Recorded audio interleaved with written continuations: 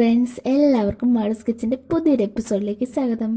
ഇന്ന് നമ്മൾ ഉണ്ടാക്കാൻ പോകുന്ന റെസിപ്പി ഇഞ്ചി പച്ചടിയാണ്. വീഡിയോയിലേക്ക് കിടക്കുന്നതിന് മുമ്പ് നമ്മുടെ ചാനൽ ആദ്യമായിട്ട് കാണുന്ന ഏതെങ്കിലും കൂട്ടുകാരുണ്ടെങ്കിൽ നമ്മുടെ ചാനൽ ഒന്ന് സബ്സ്ക്രൈബ് ചെയ്യണേ. സബ്സ്ക്രൈബ് ബട്ടന്റെ അടുത്തുള്ള ബെൽ ബട്ടനും കൂടെ അമർത്തി അതിൽ ഓൾ ഒന്ന് സെറ്റ് ചെയ്ത് വെച്ചിട്ടുണ്ടെങ്കിൽ ഞാനിടുന്ന എല്ലാ പുതിയ വീഡിയോയുടെയും നോട്ടിഫിക്കേഷൻ നിങ്ങൾക്ക് അപ്പം തന്നെ ലഭിക്കുന്നതാണ്. വളരെ വേഗത്തിൽ തയ്യാറാക്കാൻ പറ്റുന്ന ഒരു പച്ചടിയാണ് ഇഞ്ചി പച്ചടി. ഇഞ്ചി പച്ചടി ഉണ്ടാക്കാൻ വേണ്ടി ഞാൻ ഒരു മുറി തേങ്ങ എടുത്തിട്ടുണ്ട് ഒരു കഷ്ണം ഇഞ്ചി എടുത്തിട്ടുണ്ട് ഒരു മൂന്ന് പച്ചമുളക് എടുത്തിട്ടുണ്ട്. നല്ലൊരു വെള്ള പച്ചമുളകാണെങ്കിൽ രണ്ടെണ്ണം മതിയാകും. അത്യാവശ്യം വലിയൊരു കഷ്ണം ഇഞ്ചിയാണ് ഞാൻ എടുത്തിട്ടുള്ളത്. ഇഞ്ചി പച്ചടി ഉണ്ടാക്കാൻ വേണ്ടി ഞാൻ ഒരു കപ്പോളം കട്ട തൈരാണ് എടുത്തിട്ടുള്ളത്. ഇനി നമുക്ക് ഇഞ്ചി പച്ചടി ഉണ്ടാക്കാൻ തുടങ്ങാം. അതിനുവേണ്ടി ഞാൻ ഇഞ്ചിയെല്ലാം ഒന്ന് അരിഞ്ഞു വെച്ചിട്ടുണ്ട്. നമുക്ക് ഈ ഇഞ്ചിയും തേങ്ങയും പച്ചമുളകും എല്ലാം കൂടെ മിക്സിയുടെ ജാറിലിട്ടിട്ട് ഒന്ന് ഒതുക്കിയെടുക്കണം.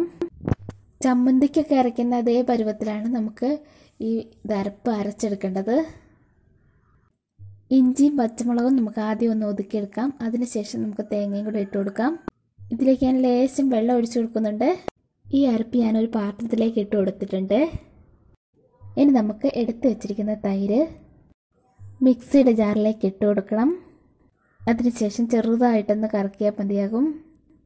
നമ്മുടെ തൈര് മോര് പോലെ ലൂസായി പോകാതെ ശ്രദ്ധിക്കണം. ഇതിപ്പോൾ റെഡി ആയിട്ടുണ്ട്. നമ്മൾ നേരത്തെ അരച്ച് വച്ചിരിക്കുന്ന തേങ്ങയുടെ അരപ്പിലേക്ക് നമുക്കിത് ഒഴിച്ചെടുക്കണം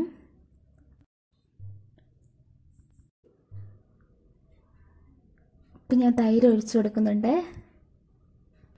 ഇത് നമുക്ക് നല്ലപോലെ ഇനി ഇളക്കി കൊടുക്കണം.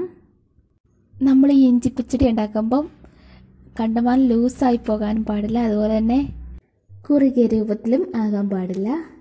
ഇനി നമുക്കിതിലേക്ക് ആവശ്യത്തിന് ഉപ്പ് കൂടെ ഇട്ട് കൊടുക്കാം. ഇനി നല്ലപോലെ ഇളക്കി കൊടുക്കണം.